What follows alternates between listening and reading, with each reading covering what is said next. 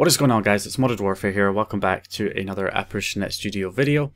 So in this video, we are, ApparitionNet Studio, if you don't know what it is, first of all, let me just cover that because I know there's a lot of new subscribers from the PS4 scene. We've just surpassed 140,000 subscribers on the channel, so thank you very much to all the new people who have been uh, subscribing to the channel recently. Unfortunately, this video is probably not your cup of tea because uh, it's more for the 360 guys. I'm I'm sure most of the people who have been subscribing recently have been for the all the uh, Switch and PS4 videos.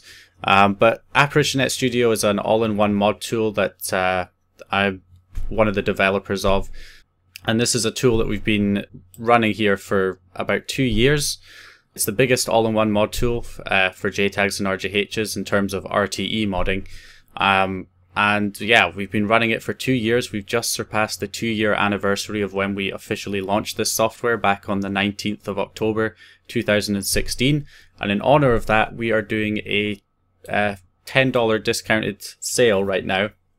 So you can get uh, the software uh, for $15 instead of the normal $25. Um, plus, that still comes with the one week trial of XBOnline time uh, which I will go over how to uh, redeem or access at the end of the video. So yeah, if you're if you were thinking of uh, purchasing ApparitionNet Studio, now is definitely the time to do it while it's on sale because you get quite a significant discount right now. So not only has the tool been out for uh, two years, but we currently have over 2,300 customers on the tool, almost 2,400 right now. So it's just crazy um, how you know popular it's been over the past couple of years. So, so I just wanted to kind of do a quick overview of all the stuff in the tool just to show you what uh, what's available in there and not go too in depth on every single thing since I've done videos on that already. So starting off with the Call of Duty tools here, um, I'll just show one of these COD tools, um, but I will open another one just to show you that you know they all they're all of the similar size. So you've got an IP spoofer there. Um, I'll go over the console tools in more detail after we go through this stuff. So basically you've got your recovery stats. So all CODs have recovery stats uh, where you can do unlock all, you can set each stat individually, you can do set all stats, you can do quick recovery which will do everything, it will do stats, it will do unlock all, it will do your medals and all the other kind of things, your class names. Uh, it will set that all for you. You can read the stats from the console, reset the stats. You can do legit stats where you enter a prestige and randomize all the other values around that prestige. So if I do 10th prestige, you see the values increase. So you can set them all. There's a class name editor, so you can edit your class names for each of your classes. You can change your clan tag. You can go ahead and save and restore your class data. So that's, uh, you know, if you create a bunch of custom classes, you can save those so that if you reset your stats or you or you're doing a different account, you can restore those same classes on that new account um, or on the same account that you reset, uh, rather than having to manually, you know, set them all again. Uh, so then you've got modifications. So you've got client mods, uh, where you basically uh, you need to be host of the game, but you select, you load the client list, which loads all the people in the game, uh, their their gamer tags, and then you just click the gamer tag you want to apply a mod to, and then you click one of the mods to apply it to. You can see that there's MP slash ZM, which will work on multiplayer and zombies, and then you've got options that are just for multiplayer. So there's another tab page full of them here. You've got teleportation, uh, all client stats as well, so you can edit the stats of the peop of the people in your game. Uh, although that's private match only. Uh, that won't work in public match. The all client stats you need to be in a private match for that. Um, and then you've got zombie clients, so just some more mods that will work for zombies only, like points and its own unlimited ammo and give weapon and perks. You can also change client gamertags as well. If you just double click the gamertag, it will open up the gamertag changer and from there you can go ahead and you know set their gamertags to multicolored or change it. Um, you can even set their gamertags to their IP addresses or to their uh, to their um, city or country or region. Um, so quite a lot of options there as well. And then we have the uh, global game variables. So that allows you to Again, you need to be host for that, but allows you to edit stuff like jump height and gravity that and player speed, which will affect all the players in the game. Then you've got console commands, so you can send game send server command, console command, middle text, and kill feed text, and say text for games that support say text. Then you've got the XUID spoofer, so you can spoof your whole profile to somebody else's with the XUID spoofer, or you can just spoof the gamertag only. Um, and the gamertag only does have all these other options as well. Uh, so RTE gamertag, a looped message, multicolored name, all that kind of stuff. So then you've got off-host modifications, which will work when you're not the host, including endgame off-host. You've got host mods, so some more mods for when you're the host. You've got force host, band bypass, stat spoof, which is basically uh, the remote recovery so that you can set somebody's stats without having to recover their account. So all of that there. So that's basically the COD tools, and just I'll just open one more just to show you that it has sort of similar stuff here. So here's MW3, same stuff basically. Uh, it's also got a, a big loadout editor for MW3. And then you've got, you know, same class data, same client modifications, all client stats, global game variables, console commands, off-host mods, host mods. So all the CODs are very similar in in the way in their layout. They all have the same general layout. And so then you've got uh, Halo. So here's the Halo 4 tool. So in Halo 4, you've got uh, player settings. So when you're the host, you can edit your player's speed and jump height. Uh, you can edit the projectiles that your weapon shoots. Uh, you can edit your time scale. There's also vehicle options, so you can edit the speed of your vehicle, what your vehicle shoots. You can even change the, the turrets of your vehicles as well, uh, which is pretty cool. And then there's quick mods as well, which allows you to edit a bunch of uh, map stuff pretty quickly just by turning them on and off. So quite a lot there. Uh, you've even got you know an XUID spoofer and a gamertag changer, and uh, you can edit your service tag and give yourself XP. And basically, again, the other tools for Halo are pretty much the same. So same general stuff: player settings, vehicle settings, quick mods, and your lobby options, and your XUID spoofer and gamertag changer. Then we've got uh, other games, so GTA 5, which uh, is not going to be as big as a menu, I'm not going to lie, like mod menus have a lot more stuff for GTA, that's just how it works unfortunately. Uh, you can't add, there's certain things that you can do in mod menus with GTA that you just can't do in a mod tool, but compared to other mod tools for GTA, this tool has far more, because most mod tools for GTA are just, you know, RP and uh, money. Whereas this, as you can see, a lot more stuff. You can do God mode, unlimited ammo, give health, set your wanted level. You can turn off uh, police, drop items, give weapons. And uh, you can spawn peds in, give them God mode, turn them into a bodyguard, um, all that kind of stuff. Uh, you've also got the account menu. Uh, you can give yourself unlocks for your vehicles, spawn vehicles, uh, upgrade your vehicle, change the vehicle paint, all that stuff. And in single player, you can also, you know, change the time of day, freeze the time of day, change the weather, um, teleport to uh, custom coordinates. And then we've got, uh, okay, Left 4 Dead 2, which has a lot for Left 4 Dead 2. Give weapon, God mode, no clip, console commands, F FPS counter, uh, gravity, give weapon, set your player name, drop explosives, and then there's controller bindings, which have even more. So you can activate Forge mode, which will bind all of these um, items that you can spawn in to different buttons on your controller. Same with the equipment spawner, will bind all of this to these various buttons. Cheat mode will bind a few things like no clip and god mode and unlimited ammo. And then you can do default binds to reset your controller back to normal. And you can even customize binds by selecting something and then selecting a button on your controller and then entering a, a CVAR to bind it to and then you can actually save that to a file so that you can reload that at any point when you next play the game which allows you to make the tool as big as you want.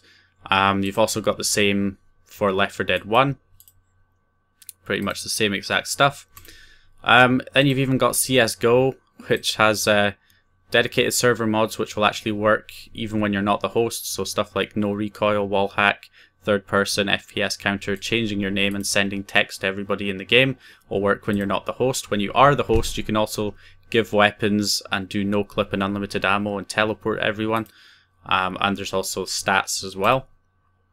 Then you've got Battlefield 3, which is off-host modifications for Battlefield 3.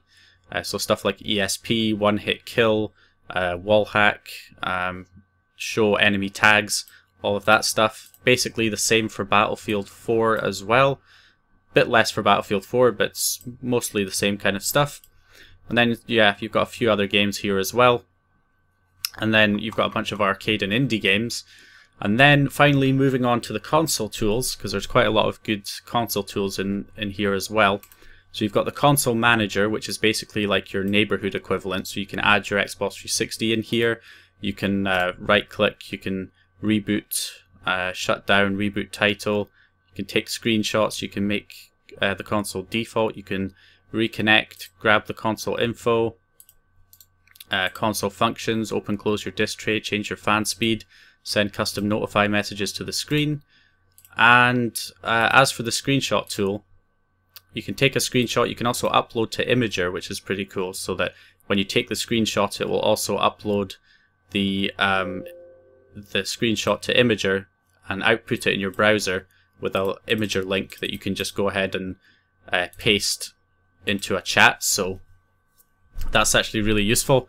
If you want to, you know, take a screenshot and send the screenshot to somebody, you don't have to take the screenshot and then capture it in ShareX or Gyazo because this basically does that for you. Uh, so another little useful feature there, a dash launch editor, which allows you to edit all your dash launch settings, including your plugins list. Um, then you've got a KV checker, where you can load a bunch of KVs in there. It'll tell you if they're banned or not. It'll give you their serial, console ID, manufacture date, region, OSIG, and DVD key. So then you've got the file manager, and the file manager allows you to, of course, browse the file system of your uh, 360. Also allows you to copy files back and forth from your computer to your Xbox and vice versa. Um, and then you can, of course, remotely launch your games as well by going into the game directory and uh, double clicking the default.xex or defaultmp.xex to launch the game. Um, and then you can also add your XEX files to the quick launcher so that you can launch the games much faster uh, the next time you want to launch your game by just opening up opening up the quick launcher. And then the game that you added in the file manager will be there and you can just double click it and it will launch it. So there's that. Um, not only that the file manager has a lot of extra hidden features built in. For example if you double click the launch.ini file, it will allow you to open that straight in, straight up in the Dash Launch editor. Uh, on top of that, you can double click a KV on your hard drive as well, and it will give you the information about it, whether it's banned or not, and all the other information. Um, and then if you just double click a file that's not supported, it will just try and open it in whatever you know your default program is on your computer, so you can edit it and save it back on the on the hard drive much faster. So yeah, that's the file manager. Then you've got the XB remote, which is basically a, a virtual controller. Uh, so you can control your, your console with the virtual controller if you don't have a controller connected. Uh, the achievement unlocker, which allows you to unlock your achievements for your games. Then you've got module debugger, which you can use to inject plugins directly into memory so that you don't have to, you know, add them as a dash launch plugin and then reboot the console. Uh, you can unload plugins, you can load plugins, you can load plugins from the Xbox or from the PC, which is pretty awesome. Um, and then there's also the advanced view as well if you want to check base addresses and module sizes. And you can uh, dump um, XEXs to your PC as well. So quite a few things there. The module updater allows you to update XEX files. It will patch the XEX file with the title update for you. You just need to be on the game uh, with the title update applied. Then you've got the network sniffer, which allows you to pool IPs um, on pretty much all of the CODs and Halo as well, the Halo games. It'll pool IPs from people in the game. It won't just grab their IP address, it'll also grab their local IP, their online port, their MAC address, their XUID, and their machine ID. And you can also do a whois lookup on the IP from here as well, which will grab extra information like their city, region, country, zip code, and ISP. So quite a lot there too. And I think that's pretty much it. I mean, settings as well. You can change your theme. If you don't like the default theme, you can you can change it. So that is basically that. So last but not least, for I did say that if you buy ApparitionNet Studio, you also get a week of free XBOnline time.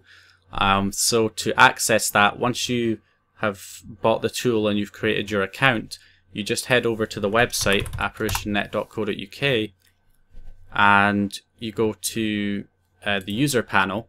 And then from the user panel you just log in to your account. So the same account you would log into on the tool. And then from within here you'll be able to redeem your XBOnline token right here.